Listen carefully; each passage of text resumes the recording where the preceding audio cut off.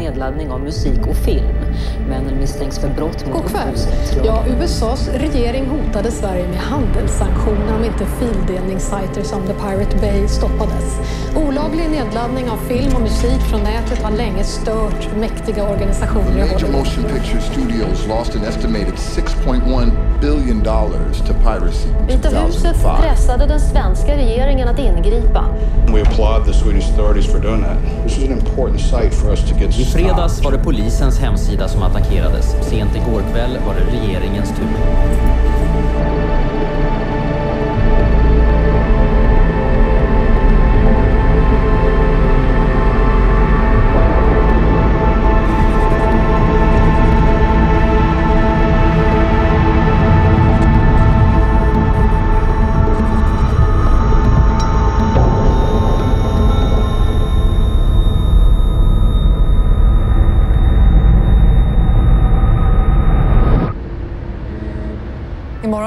Rättegången mot grundarna av fildelningssajten Pirate Bay. Idag möter de media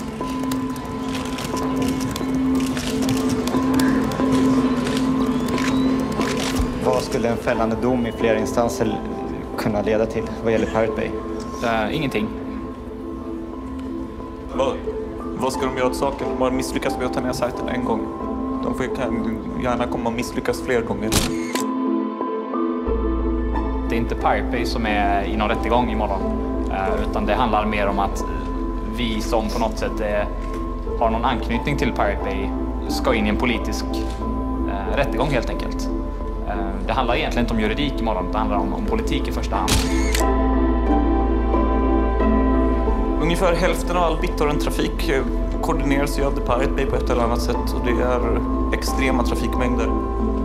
Mellan 22 och 25 miljoner användare just, just nu. Exakt. Användare alltså definieras som en, en pågående upp eller nedladdning. Frågan är fri. Ja, varsågod. Var är Fredrik?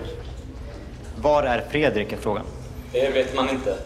Han ska ha varit här, men han är väl antagligen bakfull kan jag tänka mig. Första frågan. Eh, var är Fredrik? Och jag sitter där. Um, eh, ja. Fredrik brukar ute och festa. Det var liksom mitt svar. Jag vill inte ljuga och säga liksom, att jag vet vart han är. Jag kan inte berätta det liksom. Jag eh, försökte få tag på Fredrik hela dagen igår. Och ringer honom ett par gånger. Och sen eh, svarar han till slut. Och så säger han. Vet du vart jag är? Bara, Nej. Jag är på Arlanda i terminalen. Bara, jaha, vadå? "Aj, ja. Jag sticker nu. Bara, va? Förklarar han mår dåligt och han har köpt en biljett på fyllan till eh, Kuala Lumpur, Malaysia. Såklart, det är så ett namn som klingar så jävla bra också. Liksom. Han ska berätta om en escape plan. Eh, och han tänkte att han skulle sticka dit och sen sticka iväg med sin eh, flickvän från Laos. Eh, typ sticka hem till henne och bo hos henne och bara skita i allt. Bara hålla sig undan tills det inte är några jävla krav på honom längre fram. Så... Eh, men sen bara skick svarade han på sms typ. Jag tror det är Säpo. Planet är trasigt. Han bara okej. Bara vart är du nu då? Nej, jag är på väg till hotellet. Så här. Bara okej. Och jag bara sån. Stort intresse från hela världen idag när fildelningsrättegången startade i Stockholms tingsrätt.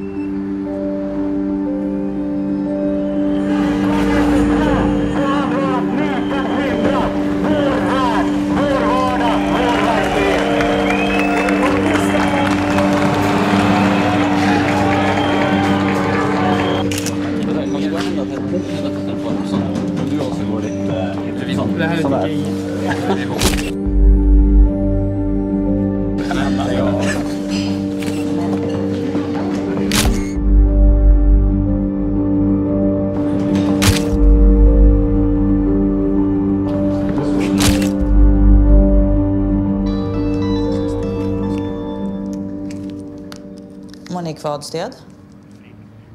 Jo, spel också har jag. Spel, inte musik, nej. Men det är, vi, det är vi som har det största skadeståndsanspråket. Jag företräder då eh, några av de stora filmbolagen i Hollywood och det är eh, Warner Brothers, Columbia, 20th Century Fox och MGM. Vi har ju begärt då en summa på 93 miljoner och det kan ju tyckas som en svindlande stort belopp. Alltså det, och då ska man ju tänka på att det är verkligen en indikation på hur mycket, hur omfattande den här verksamheten är. För det här är fem verk under sex månader. Pink Panther, Syriana, det är en Harry Potter-film. Prison Break och Walk the Line. Det finns inga tveksamheter i vad de har gjort. De har bedrivit en kommersiell verksamhet. De har ju tjänat pengar på detta. Och då är straffvärdet för, för den typen av gärningar, det är fängelse. Det är liksom inte böter. Fredrik Unn ska börja berätta själv så långt det går. Ja. Och sen kanske åklagaren får ta över. Ja, är det acceptabelt för åklagaren? Ja, absolut. Varsågod då Fredrik, nej.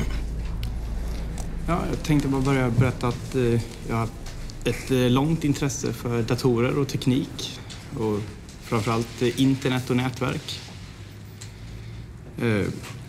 Och att jag... Ja... kommer av mig totalt. Ja, du kommer av dig lite grann. Ja, du är långt intresse för Ja, okej. teknik. Och att det är Datorer. därför jag har kommit in i Pirate Bay. eh, På grund av mitt eh, intresse för tekniken. Och jag tycker det är väldigt kul att eh, jobba med tekniken. Och för mig är Pirate Bay en teknisk utmaning. Att driva en så här pass stor sajt, att driva en så här pass stor tracker med den tekniska biten. Att få leka med datorer som jag annars aldrig skulle ha råd privat att leka med. Jag tänkte börja med att fråga dig. eh, Det står ju, jag har läst väldigt mycket i pressen om att du beskriver, där du beskrivs som ett datageni. Hur skulle du själv beskriva din kompetens? Ja, jag besitter ju en viss teknisk kompetens, ja. Och En viss. Vad betyder det? Om du skulle jämföra med andra? Ja, jag vet inte om det här är riktigt rätt, eh, rätt tid och plats och medium för att eh, posta mitt CV på. Liksom. Men nu frågar jag ju dig bara. Du kan väl svara snällt då? Ja, jag, jag undviker att gå in på den frågan. Den känns för, för rent värderingsmässig. Alltså den kä- känns för... Rent värderingsmässig. Är den värderingsmässig? Den är väldigt, väldigt svår att svara på. Hur lärde du känna Fredrik och Gottfrid? Det kommer jag faktiskt inte ihåg hur det var från första början, men det utgår ifrån att det var på något chattrum på internet, något forum. Ja. När träffades ni första gången? IRL? Vi använder väl inte uttrycket IRL, vi använder det AFK, jag. men eh, det är en annan sak. Men eh, det kan jag faktiskt inte komma ihåg heller. Vad, vad lärde känna IRL? Var det så? In real life? Okej.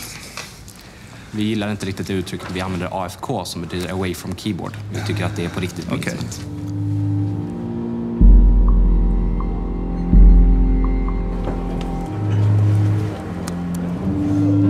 Så här ser vårt kontor ut ungefär.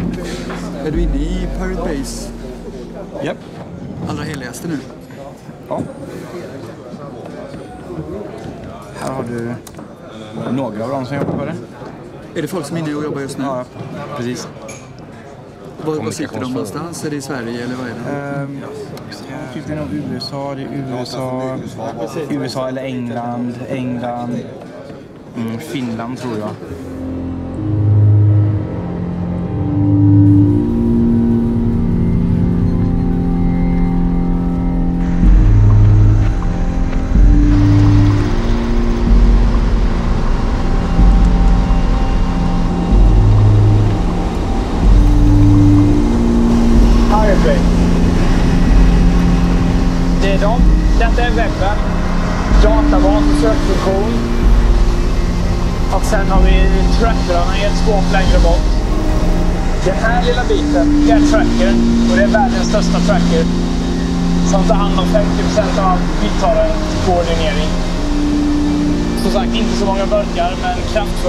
Kraftfulla och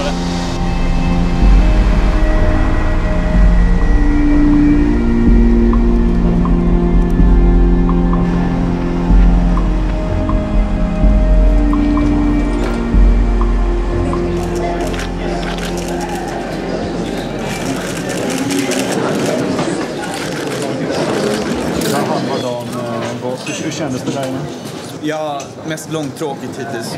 Jag tror att åklagarens strategi är att uh, ljuga så mycket som möjligt på så tråkigt sätt som möjligt. Att han helt enkelt somnar under förhandlingen och inte är fysiskt kapabel till att försvara sig. De här som säger att ni har tjänat massa pengar på att, att uh, illegalt material sprids. Säkert tjänat en massa pengar, men så har det kostat en massa pengar att driva sajten också. Hej! Ja, Okej, men vi, vi springer ner till entrén helt enkelt. Men jag tycker vi går och äter nästan.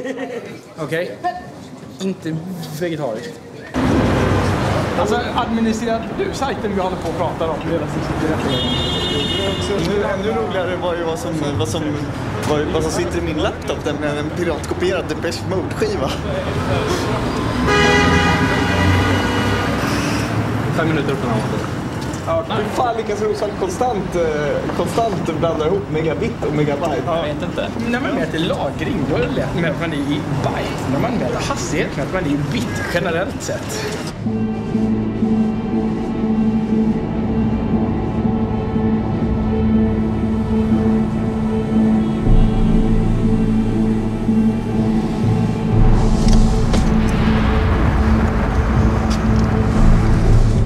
Det började egentligen med att Gottfrid Gottfried hade en sajt som hette America's Dumbest Soldiers. Som är ungefär så här, man får ratea 1 till 10. Och så var det eh, amerikanska soldater som dog i det första Irakkriget. Och så fick man eh, ratea hur dumma de var. På, tack vare att de hade dött på olika dumma sätt. Och den var ju varken uppskattad av eh, USAs regering eller någon annan. Så eh, jag hade ju en lina över så jag lät honom ha den hos mig. Och den var från British Telecom. Och någon från amerikanska utrikesdepartementet hade ringt chefen på British Telecom. Som i sin tur hade ringt chefen på den operatören i Sverige där jag jobbade på. Som i sin tur ringde mig. Så i rakt nedstigande läget från USAs regering fick vi order om att ta bort den. Och vi höll på att bråka jättelänge innan vi tog bort den. Och hävdade att det var yttrandefrihet och parodi och typ alla de här lagarna. Men till slut så tog vi bort den när det blev alldeles för mycket. Och eh, ungefär två månader senare så behövde Gottfried eh, mer bandbredd åt Pirate Bay. Och då hade jag ju fortfarande den linan tillgänglig. Och då stoppade vi upp Pirate Bay där.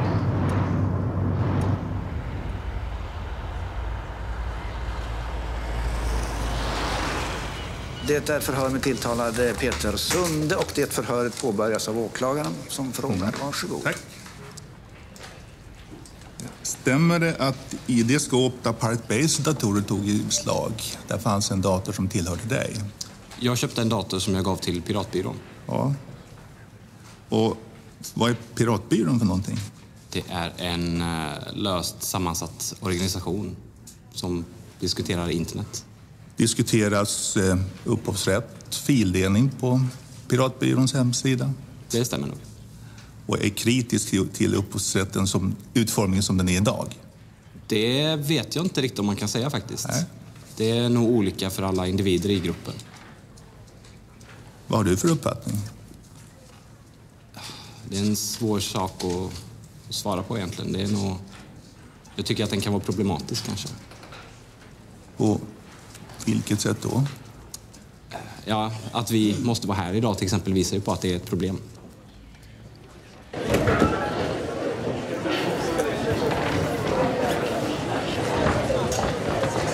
Börja med så tror jag inte på att det skulle finnas någon form av, av idé hos vanliga ungdomar om att upphovsrätt skulle vara fel eller så. Det, det, det, det tror jag är en myt och den har, eh, den har liksom de här eh, den här kopimistsekten varit väldigt duktiga på att marknadsföra. Det är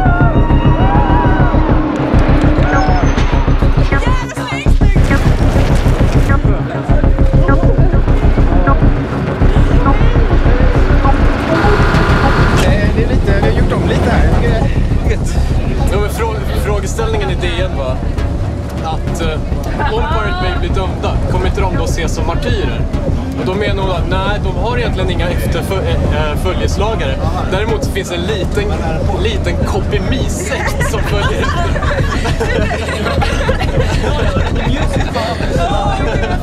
Det är ni ju! Piratbyrån uppstod ju sommaren 2003. Det var precis samtidigt som eh, eh, skivindustrin åtalade Napster i USA. Läkemedelsindustrin åtalade sydafrikanska staten för att ha kopierat eh, hiv-mediciner. Namnet var ju givet, liksom. namnet Piratbyrån.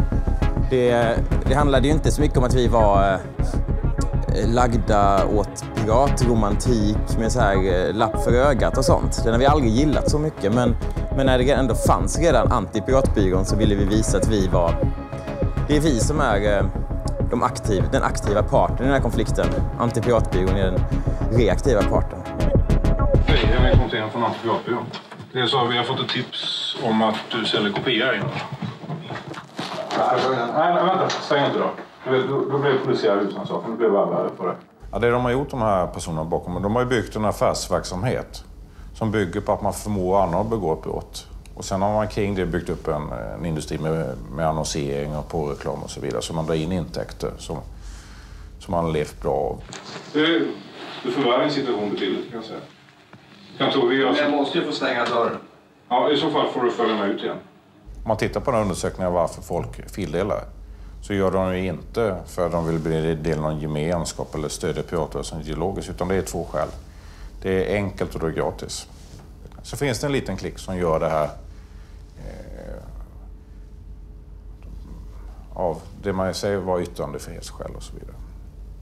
Vi har alltid haft den policyn att eh, sajten, sajten är en helt tom sida som skapas av användarna själva. Och vi lägger oss inte i vad som finns, finns på den. Nej. Det vill säga yttrandefrihet. Ja, jag skulle snarare betrakta det som från ett rent tekniskt perspektiv, att det är en ren förmedlingstjänst.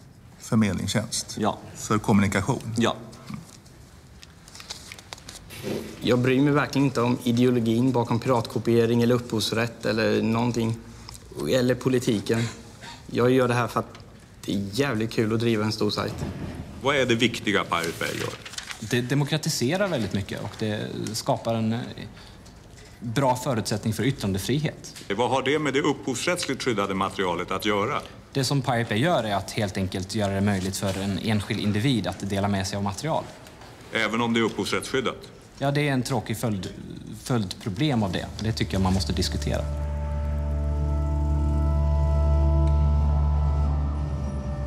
Vad hoppas du på?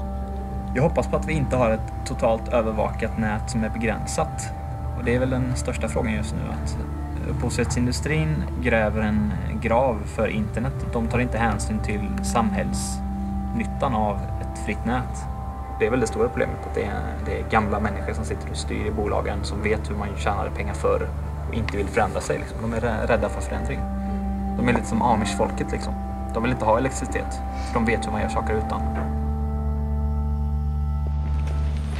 Roger Waters kallar säsong 9. Den som laddar ner en film, tror du att han sen går och köper samma film? Att han ska gå och köpa? Ja, eller på något annat sätt Det skaffa är mycket möjligt och det beror på kanske kvaliteten. Om han blir väldigt intresserad och vill ha en jättebra kvalitet och man har ett DVD som har extra material i. Det, är väl det. det gäller att öka värdet av de produkter man säljer så att det funkar som marknadsföring i så fall. Om man ska lyckas anpassa sina affärsmodeller till den nya världen. Tack så mycket. Jag vill först ha det sagt att anledningen till att jag ringde till din institution och ställde de här frågorna, det var att vi inte kunde få fram ett komplett CV på dig.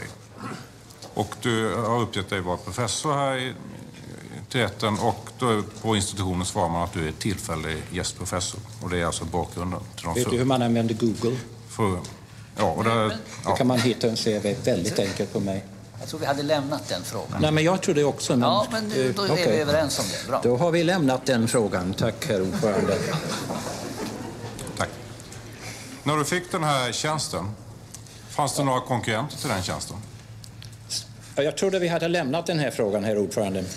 Jag vill, Ja. det, det är en fråga jag vill ha svar på. Har du möjlighet att svara på frågan? Den har... Det har jag ingen aning. Jag blev ombedd att komma dit. Jag gick igenom, nu alltså, vi tillbaks igen på det här, exakt igenom samma urvalsmetod som varje professor på KTH. Alla mina skrivelser fick lämnas in. Vi hade tre professorer, två internationella experter på det här som bedömde att jag var en sån person som skulle ha det här tjänst.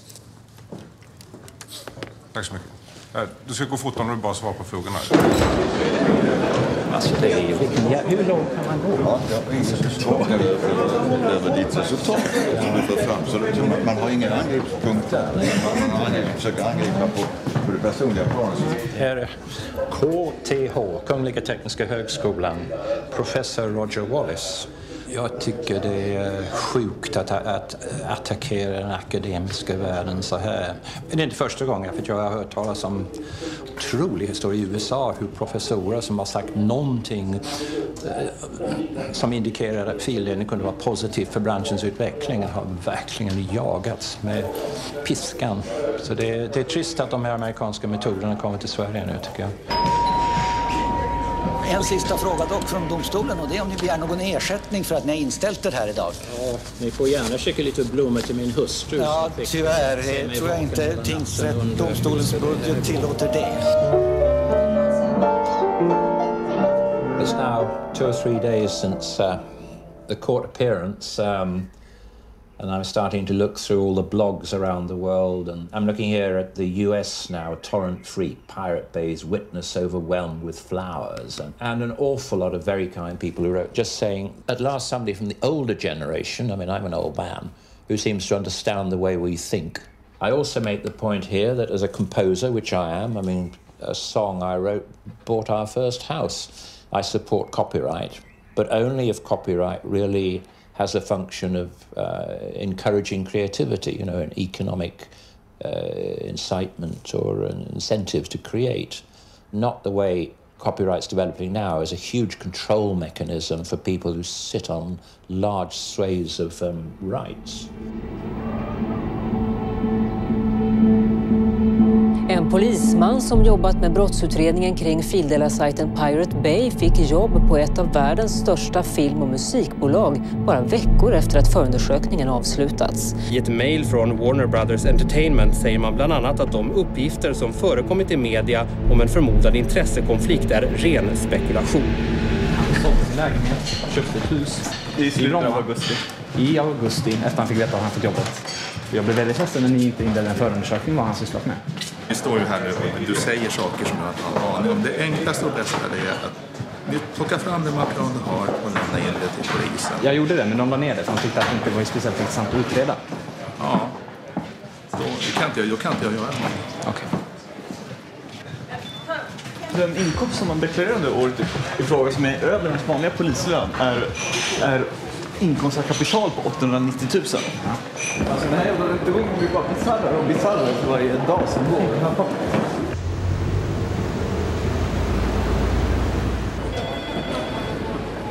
Jag tror elen har gått på Pirate Bay igen. Men varför du automatsäkringar? Det, man använder inte automatsäkringar. Därför de sitter på ellistorna. När automatsäkringen har gått typ fem gånger så funkar den helt enkelt inte längre. Då måste man byta ut den. Då måste man bryta all ström. Mina laptops går bara sönder så jag, jag hinner aldrig klistra något på dem. Eh, en spillde jag gin och tonic i, en spillde jag öl i och en trillade jag över och spräckte skärmen på. Eh, finns det velar och så här? Ja, man busar. Gör de inte det? Ki, I, IFK fick vela 0. Ki, S, kolon, bambuser. Men för i helvete! Jag har abstinens! Jag har inte nätat på hela dagen.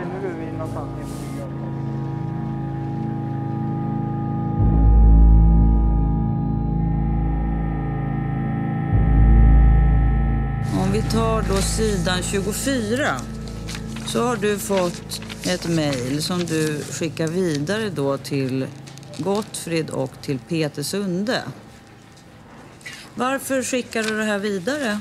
Eh, Det gör jag inte. Eh, Allting som innehåller DMCA med stora bokstäver skickas automatiskt vidare till Gottfrid och Peter. Det är en massa förkortningar som jag har i mitt filter som ska skickas vidare. Vem är det som har programmerat in de här förkortningarna? Jag. Det har du gjort. Och varför har du gjort det? Därför att det kommer massa spam.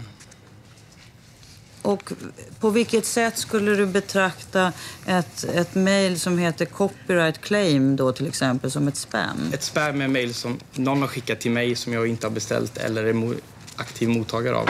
Vi hörde av Fredrik Nej att så fort det kom ett mejl från någon som företrädde rättighetshavare så gick det automatiskt från hans dator till din. Är det riktigt? Eftersom ingen verkar kapabel till att göra vad vi har sagt, nämligen kontakta användare som la upp materialet, så, eh, så, har de, så har de klagomålen kommit att antingen ignoreras eller besvaras med mer eller mindre välvalda formuleringar. Varför gick det till dig att svara på dessa? Jag uttrycker mig bra i skrift, till skillnad från till exempel Fredrik. Men en sån här förfrågan den föranledde ingenting annat än hån och åtlöje? Ja, de, de första ungefär hundra gångerna de kom in så föranledde det nej, du ska kontakta den som har lagt upp filen istället för oss. Och de nästa hundra gångerna? Då börjar vi ledsna.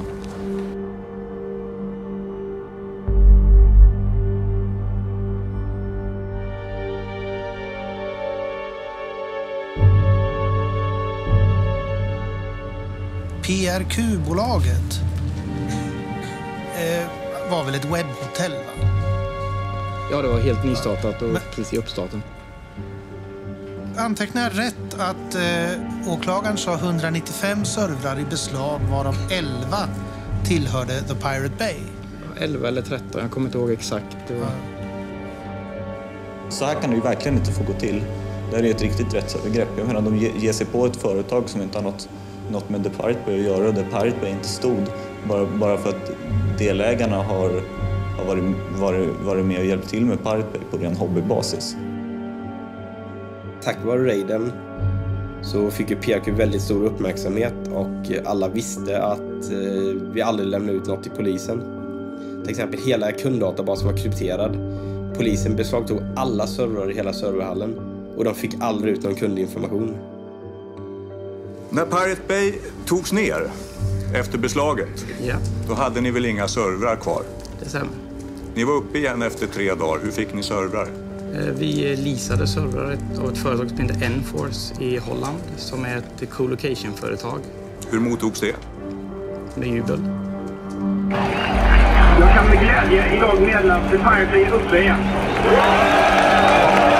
In your face, followers.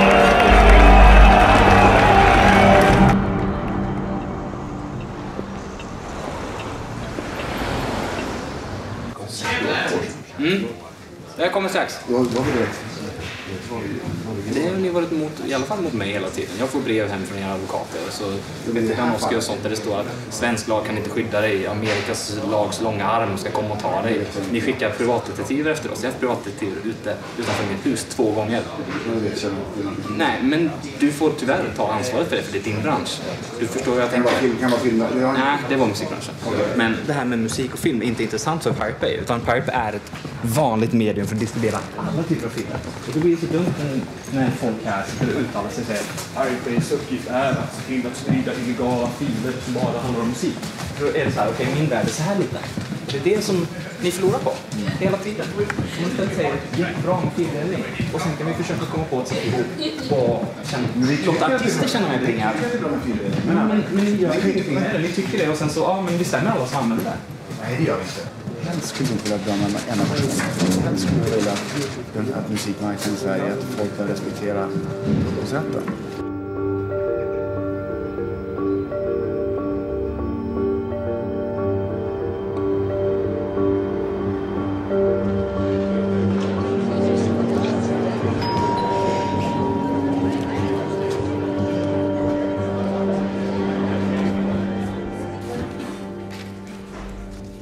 Syftet med eh, The Pirate Bay, så som du uppfattade det? Vi pratade aldrig om sådana där saker som syfte, om det kan ha varit att eh, reformera någon, lagstiftning eller att det kan ha varit att eh, någon är ilska mot eh, några amerikaner eller vad det kan vara. Jag vet inte riktigt vad syftet från deras sida var. Men eh, från Fredriks sida, och det var ju med Fredrik jag hade att göra, så var det att det här ska bli en stor sajt. Det ska bli världens största sajt i sitt slag. Och syftet från min sida var att bra, världens största sajt, det gillar jag. Pirate Bay. Och vem finansierar det? Vem som finansierar sidan? Till att börja med. Eh, ja, alltså vi, vi har haft annonser på vår sida som har eh, dragit in pengar som vi har köpt. Du hade en kille som heter Lundström va? Som hjälpte till med pengar. Ja, vi vart sponsrade i början av ett företag som heter Rikstelekom. Och, Och vad hade han för syfte? Han kanske såg det som eh, gratis reklam för hans företag. Carl Lundström är en intressant person. För han står ju bakom flera av de här organisationerna på högerkanten. Carl Lundström som du pratade om, han eh, har tydligen gett pengar. Men svara på frågan, är han, har han företrätt de här organisationerna? Men jag, jag har otroligt jävla svårt för den här att alla ska se på oss som högerextremister. Liksom. Jag blir sjukt jävla sårad och förbannad över det. Min bror är ju dömd anarkist. Han har ju stått i tingsrätten själv och eh, fått försvara sig och sina tankar och sådär. Och vi har ju liksom varit på VAMs dödslista båda två. Det känns jävligt konstigt att man ska bli anklagad för att ha varit med och startat VAM. Liksom. Och det är så jävligt svårt. Jag kan ju inte stå för någon annans politik än min egen. Liksom. Och det... När man har lite inflytande på folk, att folk lyssnar på vad man säger och så, då får man ju använda den positionen till att göra någonting bra också. När blev du talesman för Pirate Bay? Ja, det är ju ingen officiell titel sådär, men det har väl varit mer en eh, funktion som jag har fått. Ingen ville ta tag i den biten och då var det, tyckte väl jag att det var viktigt att prata om att Pirate Bay gjorde någonting viktigt. Och eftersom ingen annan ville så blev det väl jag som, som gjorde det. Mm. Om du skulle beskriva Peter Sundes, eh, eh, hans roll under den tiden, hur skulle du beteckna det? Ja, han, han kom ju in någon gång under den tiden när vi, när vi behövde ett, vad ska man kalla det, ansikte utåt. För ingen, vare sig jag eller Fredrik gör sig särskilt bra i möblerade rum. Innebär det att han hade inget med driften att göra? Nej, precis. Och- Eller design av någonting att göra? Nej, precis. Finansiering? Nej.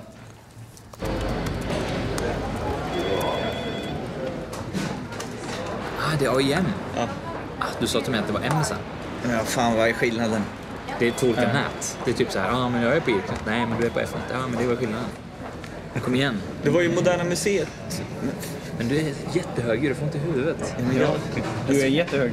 Jag är halvt döv så klart jag pratar högt. Men du pratar så jävla högt, jag blir döv. Han vill sprida sitt elände. Varför har du så dålig hörsel då? Sex, drogen och industri. Sex? Jag har hört dina sex stories. Vad kostar reklamplatsen? Nu frågar de specifika fem år gamla siffror igen. Inget jag kan svara på. Jag kan säkert leta upp lite exempel åt dig om du, om du ger mig en dag. Men jag, kan, jag, kan inte, jag vågar inte ge några exakta siffror så här. 3 500 kronor i veckan, kan det vara ett rimligt belopp? Ja, det låter inte rätt storleksordning i alla fall. Det är rätt storleksordning, det är det. Mm. Fanns det något avtal när det gäller hur, hur man skulle fördela intäkter från själva annonsförsäljningen? Det, Mellan- visst, det, det känner inte jag till alls. Känner du inte till? Nej. Nej. Jävla trött. Jag ska leva så här nu i fem år framöver. Är du Kafka eller? Ja, verkligen, det känns som processen all over again. Men kanske helt plötsligt vaknar upp en morgon och är Gregor Samsa och kan inte gå till jobbet för jag har blivit en stor skalbagge. Hur åker du tillbaka till Florida? Så fort det här är över. It's a secret. Precis.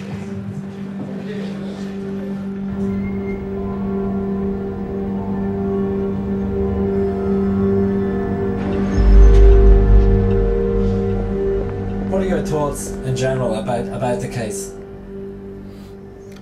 Yeah, it will be nice that it's finally over. Tomorrow, it's just half the day, and then it's just the closing arguments, and then we're finished.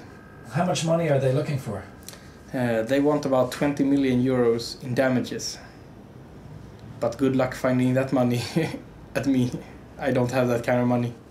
If they knew that our entire office is a chat room on IRC, they, they wouldn't believe it. And they don't because they have been asking a question about contracts, about companies, about stuff. Yeah, we tried to get organized, but we failed every single time. I don't think they even can grasp the idea of an organization that doesn't have any boss. People have no idea how small we are. We asked a couple of guys in a chat room.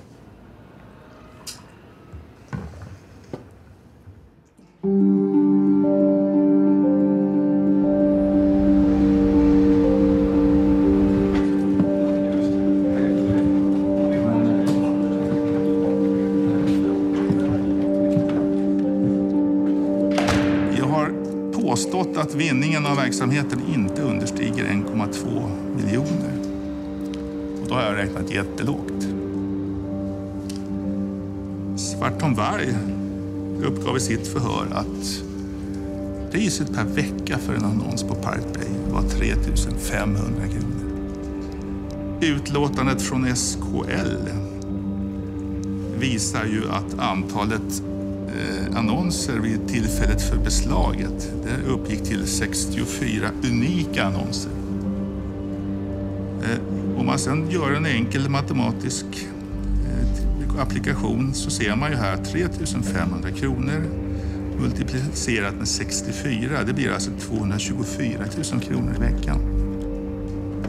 Multiplicerar man det beloppet med 52, det vill säga antal veckor per år, så är alltså eh, intäkten 11,6 miljoner kronor. Då är Park Bay inte någon ideell verksamhet, utan det är, det är en ren affärsverksamhet. Eh.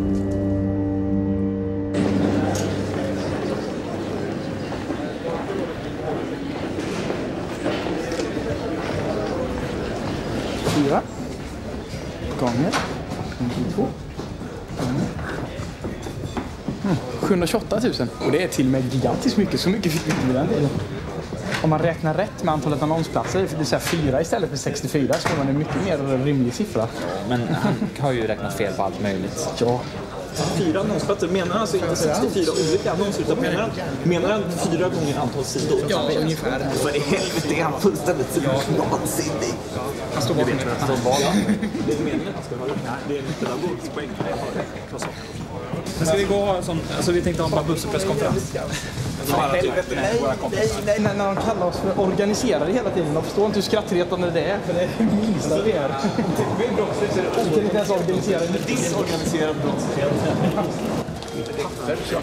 För dig menar du? Eller för alla? Ja, jag tror ni blir fällda. Det tror jag verkligen. Okej. Får inte ta en bild på Månkan, hon äger sin upphovsrätt på sin egen bild. Hej då. Hej då. Vill du ha lite hjälp? Här. Det är den enda hjälpen du får av mig någonsin. Jag är snäll. Jag har kvar min själ också. Ja, nu kommer Fredrik. Ska vi dra nu? Nu drar vi. Okej, pass in. Let's go. Ja, men alltså då ska vi räkna, räkna ut hur mycket pengar vi har tjänat. Då börjar, börjar vi med en exponentialfunktion. Men du kan lägga till gånger runt 64. Ja, och för en så väljer vi ett slumptal. Mellan 100 och 52 000. Kodar du på svenska? Sen tar man kvadratroten ur det och så ser man hur mycket Monique Sky kostar. Svaret? Ja. Gör det matematiskt korrekt nu också. Nej, inte fri.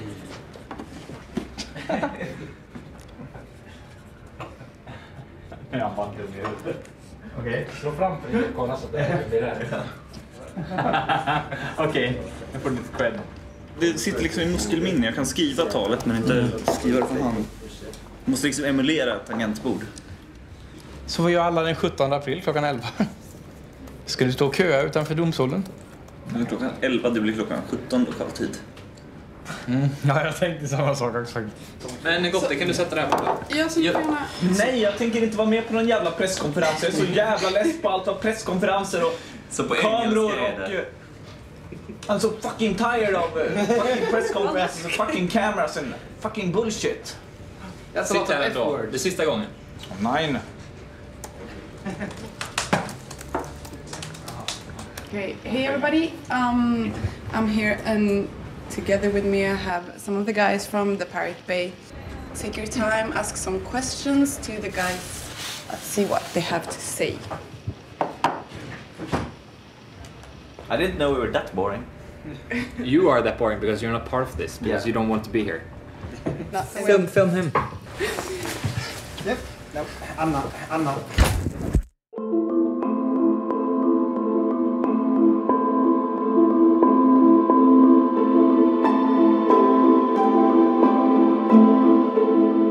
Slutligen avgörs om männen bakom fildelningssajten The Pirate Bay är skyldiga till upphovsrättsbrott eller inte. På svt.se får ni följa i direktsändning när domen meddelas klockan 11 nu på förmiddagen.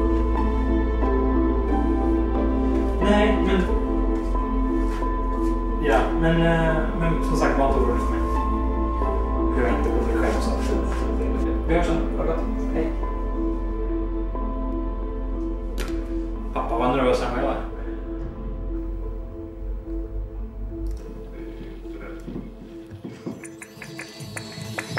har domen kommit i Pirate Bay-målet och vi är på plats. Klockan är 11.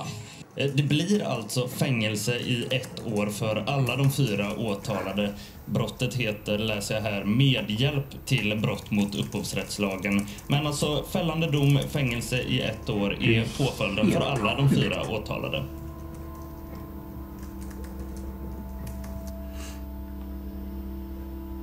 Ja, detta måste ju vara ett skämt nästan. Vi är på Stockholms tingsrätt för några minuter sedan Ja, men mamma, mamma, ta ta det med ro. Det blir ingenting. Det kommer ta fem år för att rättfärdiga. Nej men ta det, ta det med ro. Det, detta är bara... Detta är politiker. Det Och har vi eh, fått härningsrätten istället för tingsrätten av en har de åtalade samarbetat och fungerat som ett team för driften av vidareutvecklingen av sajten. De har haft kännedom om att det- det- det ro. har det fildelats och därmed så det anser rätten det- att de det. uppsåtligen främjat andras upphovsrättsintrång presskonferens. Men ni måste se på och är presskonferens, skyldiga till medhjälp till brott. Ja, ja, det. Ja, tingsrätten har idag klockan 11 meddelat dom i det så kallade Pirate Bay-målet. Och i målet uppskattat skadeersättningarna till sammanlagt drygt 30 miljoner kronor. Fuck Att you. Nu får han ett bra jobb i Hollywood sen. I'll come back to you. Alltså det är ju helt sjukt. Helt galet.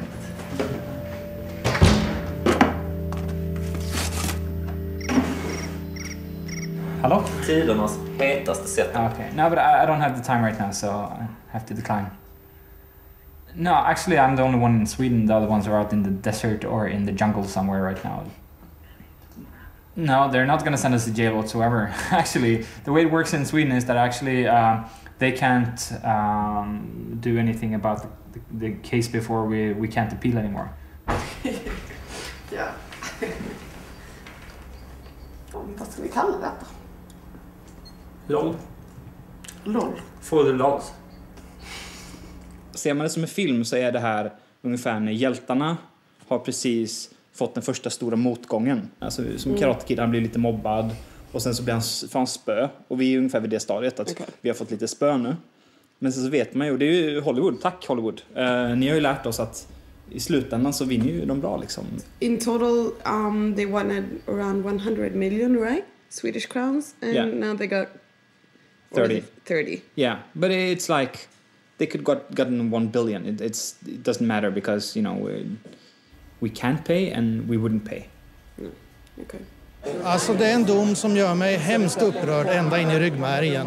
Eh, det finns inte en chans i Kapernaum att det här kommer att stå sig i högre instans. Jag kommer att gå över ån, över bäcken, över floden, över Atlanten om det behövs för att få en upprättelse. Det här köper jag inte. Det betyder väldigt, väldigt mycket att vi har gjort den här markeringen nu. Det är väldigt, väldigt viktigt att vi, vi återupprättar förtroendet för Sverige som en rättsstat. Domaren i Pirate Bay-målet anklagas för jäv och idag ställs krav på att hela rättegången ska tas om.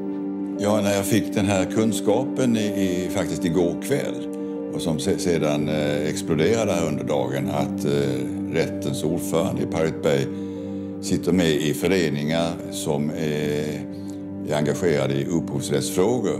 Samma föreningar som ombud för eh, målsägandebolagen. Det är klart att jag reagerar med häpnad viss förskräckelse också kan jag säga. Varför berättar du inte det här för rätten? Ja, det kan man fråga sig. Jag gjorde inte det. Jo, det förstår jag exakt hur de har tänkt och jag tror att det är så att han har tänkt mina kompisar blir jätteglada på mig om jag eh, dömer till deras fördel. Det är ju skrattretande. Jag trodde inte det var så illa i svensk rätt. Gjorde du rätt bedömning? Ja, det får andra uttala och bedöma. Sig.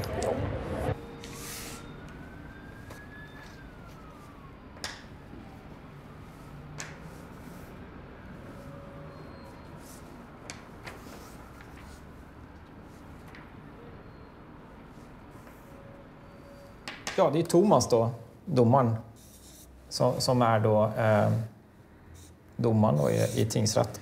Han är ju då medlem i den här Svenska föreningen för upphovsrätt. Då, som är, det är ju den som är själva grejen. Då. Eh, han sitter ju också i styrelsen för Svenska föreningen för industriell rätt. De här två föreningarna har en tidning tillsammans, eh, NIR.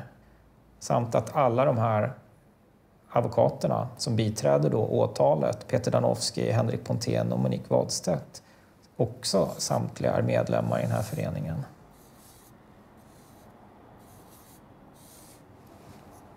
Så här ser det ju väldigt, ser han ju väldigt insyltad i de här människornas sfär. Om man ser det så här rent eh, grafiskt, då blir det ju väldigt tydligt. Jag kan inte bedöma om han var jävig eller inte, men bara det faktum att han undanhöll den här informationen, att han inte la fram det, la det på bordet, gör att han var ju olämplig som, som domare för det här målet och att man också kan ifrågasätta resultatet eftersom det kan uppfattas som att han är jävig.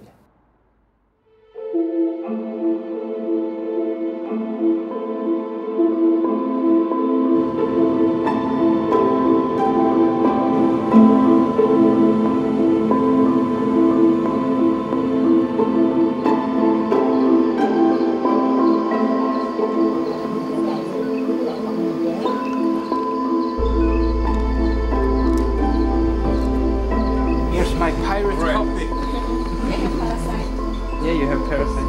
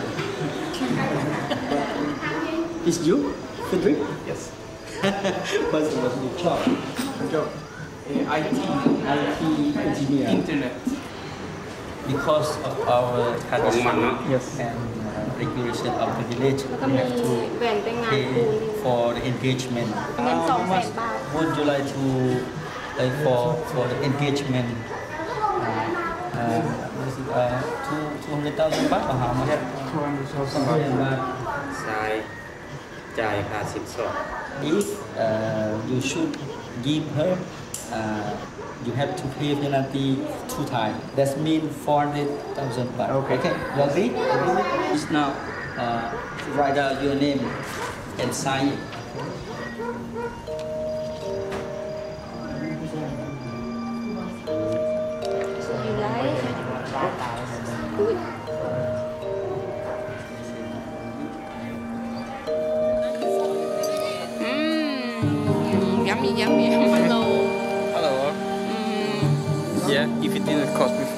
400,000, I.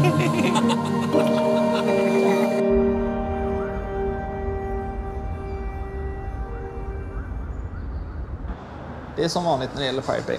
Det är kaos och det är fulspel. I måndags så kom det ett beslut från Stockholms tingsrätt, avdelning 5, där Thomas Nordström är chef. Och beslutet var att eh, Black Internet AB, som var Pirate Bays ISPs ISP, inte längre får vara det. Och om de skulle ge access till Pirate Bay så ska de betala en halv miljon kronor om dagen i vite. Eh, och eh, då blev det rabalder. Så de försöker finta juridiskt och vi försöker finta på ett bra sätt tekniskt. Så det, det är hela tiden en sån, vad ska man säga, ett, tak, ett taktiskt spel med olika, olika vapen. Så vi, vi märkte att Piper var nere. Då letar vi runt. Vi har ju alltid backuper liksom. Och så kom jag på att Piratpartiet har ju registrerat sig som en ISP. Piratpartiet jobbar för förändrad syn på upphovsrätt, ett öppet internet och fri tillgång till kultur. Då kom jag på att om vi skulle ligga hos Piratpartiet så betyder det också att om man deras internetleverantör i sin tur väljer att klippa deras kablar så klipper de bort hela Piratpartiet. Och då klipper man ju bort ett, ett politiskt parti som är representerade för Sverige i EU. Och liksom, det är politisk censur på allra högsta nivå. Om man är hos Piratpartiet som kund, eller vad man ska säga, så är man på ett sätt politiskt skyddad. Man får en diplomatisk immunitet om man vill säga så. Ja, efter dagar av spekulationer så kan Rapport nu avslöja att Piratpartiet tar över ansvaret för säkerhet och drift av sajten Wikileaks dataservrar. Wikileaks kopierade ju, eller om Piratpartiet kopierade, man återupprepade det som man har gjort med Pirate Bay, att man helt enkelt lät Wikileaks vara skyddade av ett politiskt parti genom att ha samma internetuppkoppling som dem. Och alla läckor som finns på Wikileaks har de även släppt via Pirate Bay därför att det är ingen censur där. Och Gottfried har ju, han är ju bra på teknik och kryptering och allt sånt, så han har hjälpt till med olika viktiga projekt som bland annat då eh, Collateral Murder-filmen som gjorde Wikileaks superkänd över hela världen. Clear. firing.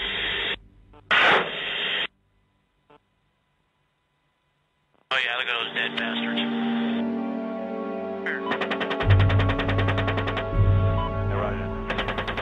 So Julian has a lot of respect for Gottfried.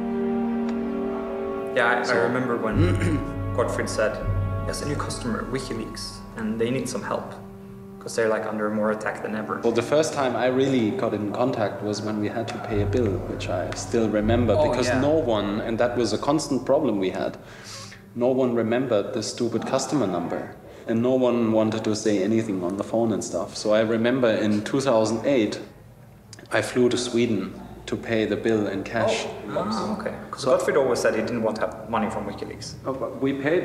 I, I mean, I flew there and I paid for one year and I paid for a bit in, in advance. Okay. So, well, Julian was with me. He was he he flew in as well, and then we arranged this meeting with Gottfried um, to hand over the money. And this was one of the weirdest weirdest incidents in my life. He came to the hotel, and he had someone waiting outside in the car, and they had some kind of agreement that Gottfried would always be near a door, uh, near a window. And he, so he stood there in this lobby with his long hair, and, and he looked completely Strange. strange, and he behaved really strange. Yeah, and then. And then every half a minute he turned around to see if the car was the guy in the car was still there. And and Julian and I we were standing there and we basically we thought we would just I don't know get, get, go hang out or something like yeah. this. So we asked him if he wants to come up to the to the room where it's a bit better than standing in a hotel lobby and he was all like no no no I can't I, I can't leave. You're turning turning around all the time Oh, that was strange. Never heard that before. and then handing over some cash and the, and the guy left and jumped in the car and they drove off and we felt like hmm, okay well that was that was meeting PRQ for us Ganz herzlich willkommen, Peter Sunde. Peter, first question. Are you a killer that ruined the whole industry? Well, I would love to take credit for it, but I can't. Sorry, they did it themselves. Um, there is a law case now with you. Just Um, one?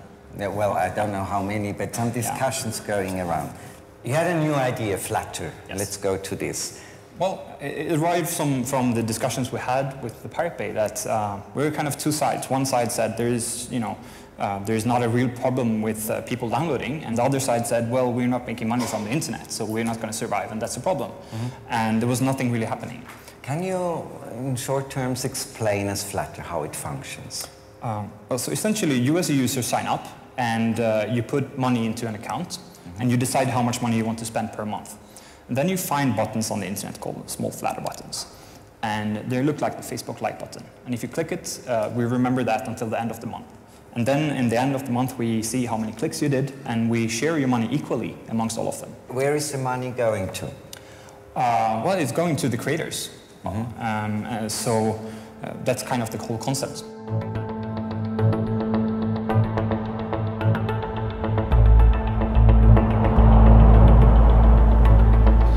Startade rättegången i Svea hovrätt mot männen bakom fildelningssajten The Pirate Bay. Hallå, vi frälsar idag igen då. Tjenare. Fan, är det ett slaget gäng här? Alltså, jag är- har slagit till med full kraft. Helt genomsvettig. Hyra en bil skulle kosta 2 7 i veckan. Jaså? Den köpte jag för fyra, så har jag den i sex veckor. Nej, den är inte avstängd. Nej, nej. Den är till och med skattad och besiktad fram till december. Där har jag 50 miljoner kronor så gör lite trafikförsäkringsföreningen, lite parkeringsböter. Det, det, det stör mig inte så jävla mycket. oj, oj, oj. Då, då ska vi till Svea hovrätt.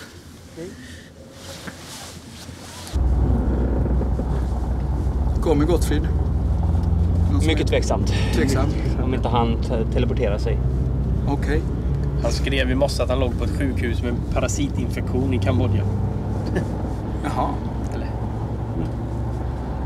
Så ja, det är nog högst otroligt att han skulle komma.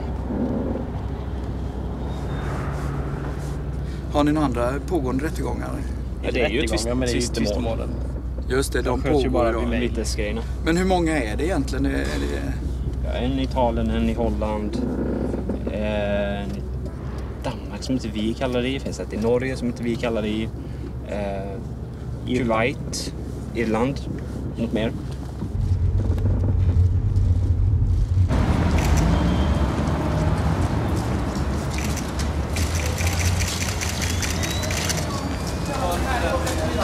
Vad är det viktigaste i det här målet som du ser? Och jag tror att det är väldigt eh, viktigt att man tar en mer syn på hur samhället ser ut och hur samhället borde se ut och inte bara döma ut efter vad stora företag skulle tjäna mer på.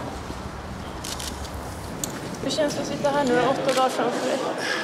Det är tråkigt om man bara ska kolla på video. Ja. Det är väl det som är jobbigast. För just det, du ville föra egen talan Mm. men fick inte det beviljat. Vad säger du om det? Alltså jag tycker att det nya rättegångssystemet är väldigt dåligt på grund av att man inte får föra in nytt material. För då är det nästan som man inte behöver åka hit. För då kunde man bara tagit det gamla materialet och be- beslutat ovanpå det. Du, tack så jättemycket. Tjenare! Vad kul att du kom. Jo då. Är det? Nej, jag är jätte, jätte, jättesjuk. Men... Varför så tar du mig i handen? Nej, jag... Nej, jag har tagit mig med handen. Är det på död. Han är också sjuk. Ja. Mår du då?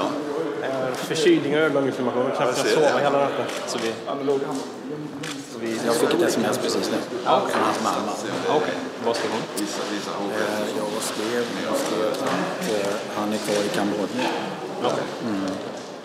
Så att, eh, han var sannolikt ganska sjuk. Ja, mycket sjuk. Men han har ju haft ganska mycket problem förut också. Och när man tittar på en så är man inte liksom hälsa det är det första man tänker på. Vadå? Vad gör du idag? Drifta webbsajter. I, uh, i Thailand? Ja. Som är internet. Man kan jobba var som helst bara man har internetaccess. Via internet? Ja.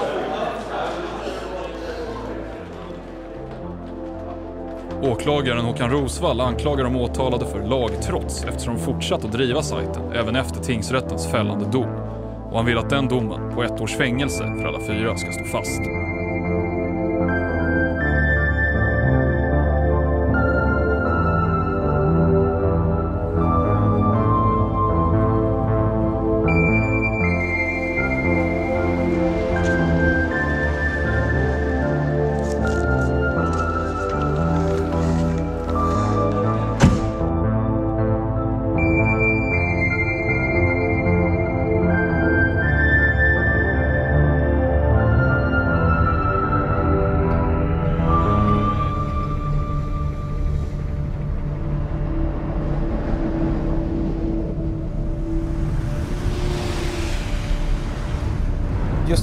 Tunnelburken i pionen hos Piratpartiet.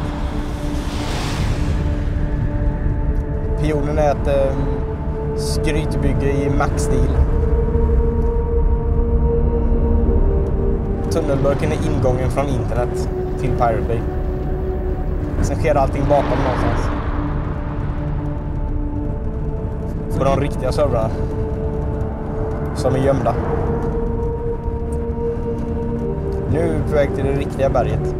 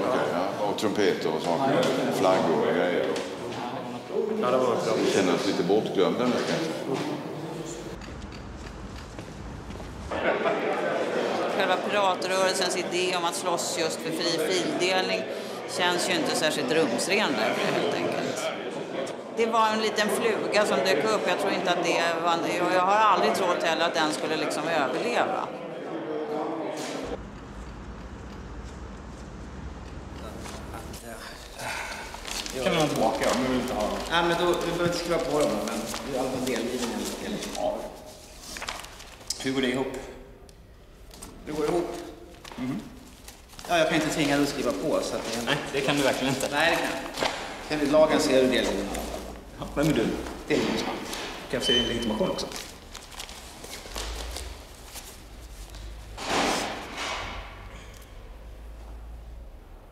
Kan jag få din... Jag vill gärna se din sista fyra också. Ja, det har Mm. Ja. Sen borde du sluta röka, det är inte väldigt bra för hälsan. Nej, det känns. Det känns väldigt mycket. Ja, men det är är ett stressmoment. Vad sa du? Det är ett stressmoment för mig också. Det är det? Det känns lite taskigt att göra så här. Ja. Inte få bra betalt? Nej. Varför gör du det då? Jag har ett jobb. Har du barn? Ja. Då förstår jag det. Men du ska skaffa något bättre jobb. Ja, fundera på det. Men vad är det för Danowski? Det står inte Danowski där. Nej, men det måste man skicka med. Jag vet inte, jag har inte läst vad, vad det handlar om. Så du vet inte vart det kommer ifrån? Ja, Holland.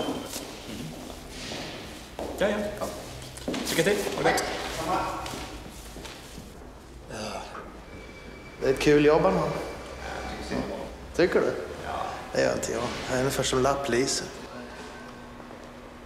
Men eh, såg du debatten i tv i morse? En ung tjej hon sa, sa det väldigt bra. Hon sa att det, det handlar inte om att unga människor vill begå brott. De, de har bara ett annat konsumtionsmönster. De helt enkelt bara konsumera film och, och skiva på det sättet. Och då är det hemskt att jaga dem. Då måste marknaden anpassas istället.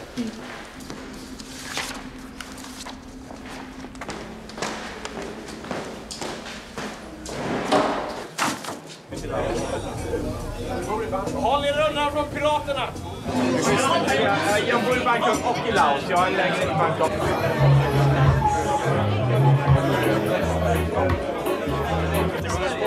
Livet, livet är fetare än internet, kan jag säga.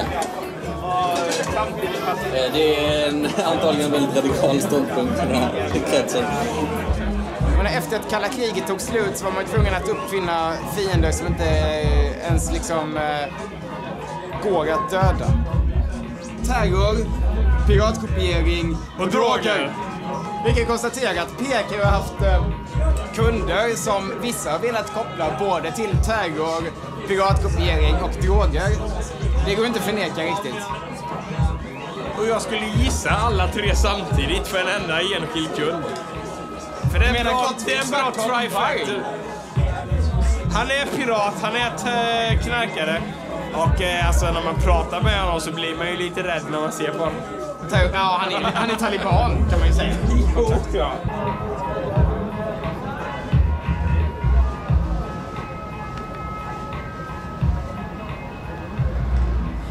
Jag kom tillbaka till Sverige från Kambodja. Jag har varit där eh, i en månad ungefär. För att eh, jag har varit väldigt oro- orolig för Gottfrid och hur han mådde. Jag vill inte gå in för mycket på... Men bruket har inte varit konstant. Alltså det har varit eh, då och då kanske. När någonting behöver verkligen göras klart så har det varit att han fått press av sitt jobb. Liksom så här, att nu måste det här bli klart och då har han dragit i sig en massa knark. Liksom. Och jag klarade dels inte att se det Liksom, för att jag har sett kompisar gå ner sig tidigare i droger. Och det, vad ska man säga, det, det är hårt liksom. Det, det är ingenting man vill se en vän göra. Man vill se vännen må bra och, och komma framåt i livet.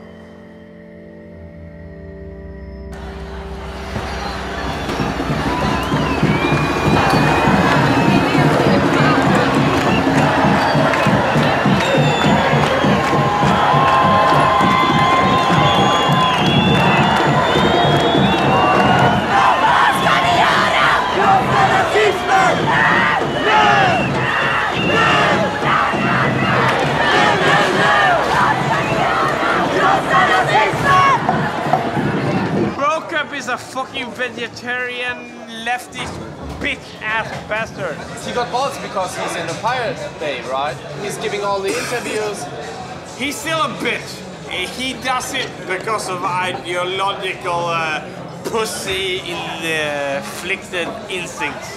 He needs to look himself in the ass and take his own life in his hands. Om han är på riktigt har tagit en öl eller två, då blir han den jobbigaste människan på jorden.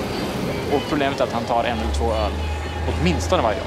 Isn't there some connection to right-wing uh, parties in Sweden?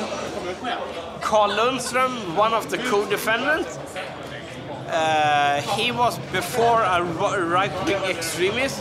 He found a lot of crap, but in the end, he married a Jewish girl. He has four uh, kids. To call him a right-wing extremist, maybe 10, 20 years ago, that was correct. Now, I wouldn't say that. Om Carl Lundström är främlingsfientlig så är jag fan också främlingsfientlig. Alla gånger jag har fått stryk, alla gånger jag har blivit rånad, då har det varit invandrare i Sverige. Och med invandrare menar jag inte typ såhär sjunde generationens finne. Det menar jag turkblattejävlar. Nej, men vad ska man säga? Han är eh, dum i huvudet när det gäller, eh, det gäller sådana saker. Han, eh, han har aldrig tänkt själv, utan han har liksom bara gått på vad hans föräldrar har sagt och gjort så här. Han är alkoholiserat rasistkräk. Men jag älskar honom ändå. And you know what? All the emails in the Pirate Bay trial comes from Anakata. Anakata, the security guy. Anakata, that don't know how to fucking encrypt this computer. Even I and Peter, we encrypted our emails. But Godfrey didn't. Godfrey is the stupidest person in the entire history of IT.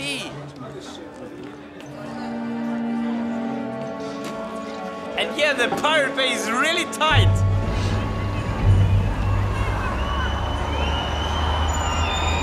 Typ inget batteri kvar alls.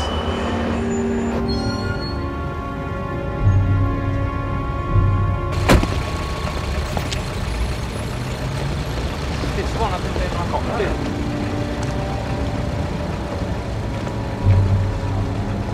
Ja, det är sista dagen har då, ja. ja. Ja, det lugnt. Det är lugnt. Men du kan bara kasta. Men enligt delgivningslagen så är du delgiven ändå. Så, då Kommer kan du på, kasta. på Youtube. Men, jag kan, jag Men du kan kasta dem. Nej, du får göra det. Nej, det kan jag inte göra. Du kan ju inte tvinga mig att ta dem. Jo har du enligt, precis. enligt delgivningslagen så är Så.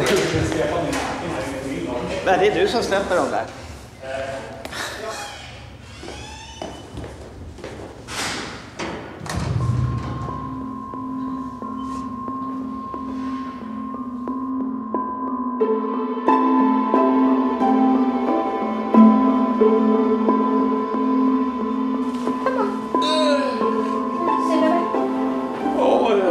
Alltså,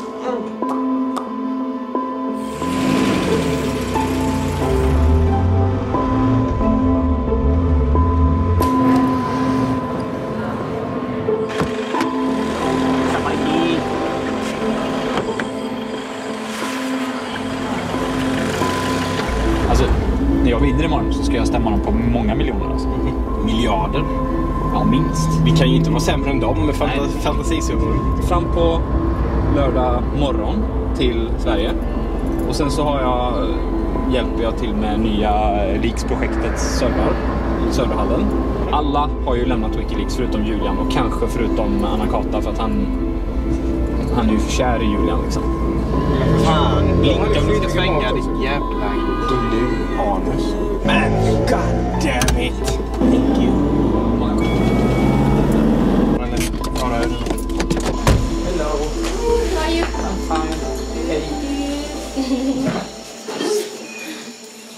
Again. You're good?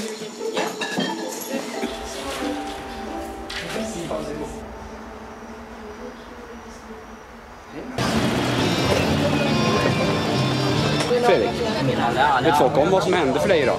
Va? Vet folk om vad som hände för dig idag? Nej. Inte ens din fru? Jo.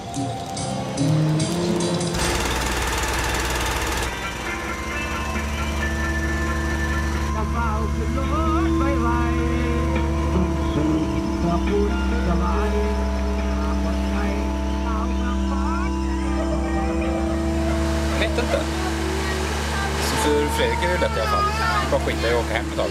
Det är ingen större skillnad. Skit i, jag har inga planer att åka hem. Jag vet inte. Alltså jag har ingen aning. Jag eh, vacklar lite fram och tillbaka, men jag går inte med på att bli dömd. Jag kan ta ett fängelse. Men alltså, varför göra det om jag inte behöver? Det, ju... det, det finns verkligen ingen anledning för dig att göra det. Nej. Titta er omkring. Varför skulle jag inte stanna här i fem år? Fan, man kan ju inte sitta i fängelse för någonting man inte har gjort. Det är ju fan... Man måste vara i politisk exil. Det är ju det det handlar om. Jag vill ju inte bli martyr. Jag tror inte jag blir fälld heller. Typ. Men... Uh, vi får se. Vi får se. Ah, ja.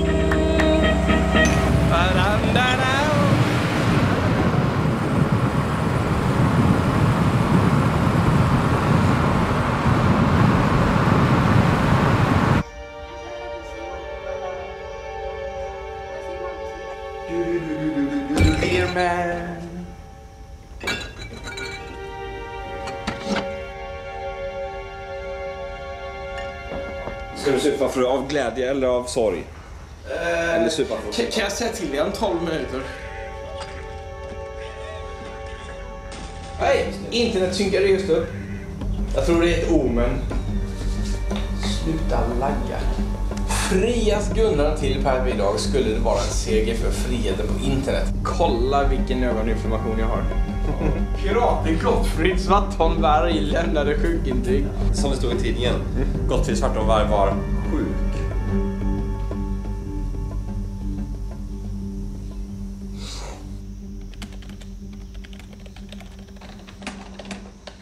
Sänktes beträffande, men skadestånden höjs. Domstol, de har släkter. Vi dömdes allihopa. Va? Vi dömdes allihopa. Domstol.se, spam. Ah, Kopiera länken.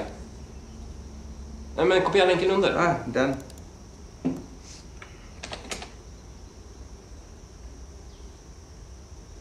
Beträffande de tre tilltal anser hovrätten bevisat att de medverkat i verksamhet på olika sätt och i varierande grad. Fredrik Nej döms till 10 månader, Peter Sunde till 8 månader, Carl Lundström till 4 månader. Från 32 Ka- miljoner är till Gottfrid 46. då? Han är inte med. Ja, just det. Från 32 miljoner till 46 miljoner. Ja, ja, men det är ju Shit bara... alltså. Ja, då förlorar vi. Jävla idioti alltså. Jag ringer min mamma. Nej, jag tänkte bara ringa och säga att ni eh, gav fängsel fortsatt, men ni sänkte fängelset. Ja, men vi ska lova klagelse med åtta månader istället för ett år. Men eh, jag ville bara ringa och säga det. Jag är 20 ord eller något sånt, så ta det med ro. Jag har 950 sidor som jag må läsa och jag tänkte läsa in idag. Mina.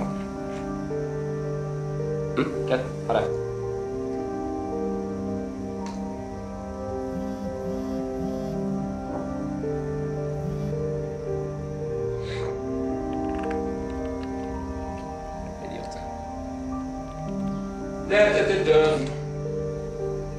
God damn it. Ja, det Jävla Windows-bajs. Nu är det under gränsen. Nu är det fem år preskription. De kan inte utfärda internationella arresteringsorder. Jag kan sitta här och runka i fem år. And I will. Skulle du runka i fem år? På en gång? I etapper. Det här gör ju att internet på ett sätt blir olagligt. Man, man lägger en, en, en stämpel på att internet, där begås det brott, stäng ner det liksom. Och vi är inte ens på BBC eller CNN än. Det irriterar mig. Come on, goddammit! Vi får helt enkelt eh, leva med att vi är oviktiga nu för tiden.